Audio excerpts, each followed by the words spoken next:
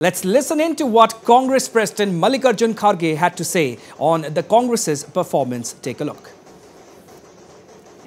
मेरे अध्यक्ष बनने के तुरंत बाद ये जो रिज़ल्ट निकला इसकी बात नहीं है हिमाचल प्रदेश हम जीते हैं इसीलिए मैं सभी वहाँ के लोगों को मतदाताओं को धन्यवाद देता हूँ और वहाँ जो हमारे कार्यकर्ता और मुखिया जो भी काम किए हैं पीसीसी प्रेसिडेंट हो सीएलपी लीडर हो इंचार्ज जनरल सेक्रेटरी हो इलेक्शन में जो भी काम किए हैं उन तमाम लोगों के कोशिशों के वजह से ये रिज़ल्ट निकला है।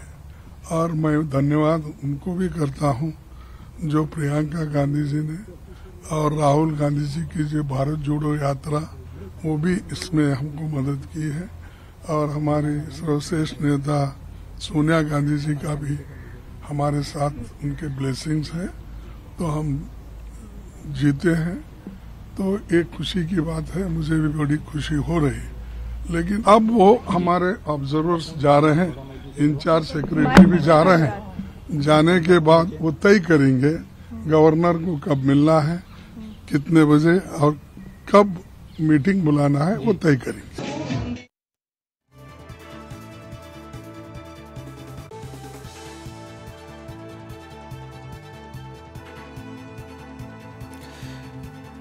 Right viewers, that was of course Mallikarjun Kharge speaking about the Congress's victory in Himachal Pradesh. We also have his reaction on the Congress's performance in Gujarat as well. We will be playing that for you in moments from now. However, at this point in time, as it stands, the Congress securing the victory in Himachal Pradesh, however, conceding defeat when it comes to Gujarat. All right, let's listen in to what Mallikarjun Kharge has to say about the Congress's performance in Gujarat.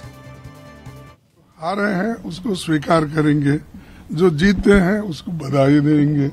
और जो आगे करना है, और हम लड़ते रहेंगे। भाई, ये डेमोक्रेसी में एक दिन की हार जीत परमानेंट नहीं रहती। है डेमोक्रेसी में हार जीत तो होती है, लेकिन अपने उसूल तो हम नहीं छोड़ने वाले ना। ये तो आइडियोलॉजिकल फाइट है हमारी। इसमें हार जीत तो होती है। और हम देखेंगे, फिर उसको सुधारने की कोशिश करेंगे। जहाँ कुछ कमियाँ हैं उसको भी ठीक करेंगे और लड़ते रहेंगे।